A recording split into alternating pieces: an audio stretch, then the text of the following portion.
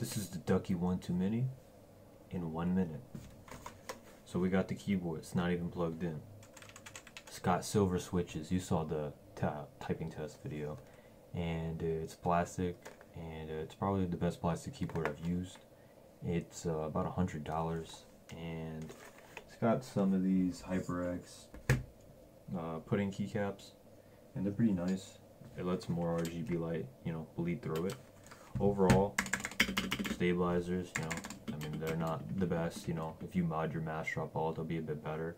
Um, but it's a pretty good board. I love it. Uh, if you want to play games like really fast with silver switches, it's nice. Um, a little bit too soft and linear for me, uh, because if you miss something or if your little hand's a little bit heavier, if you rest it, it will it will actuate.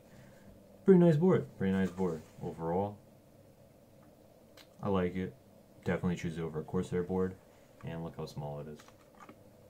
That's an 8 inch end. This is a Surface Pro.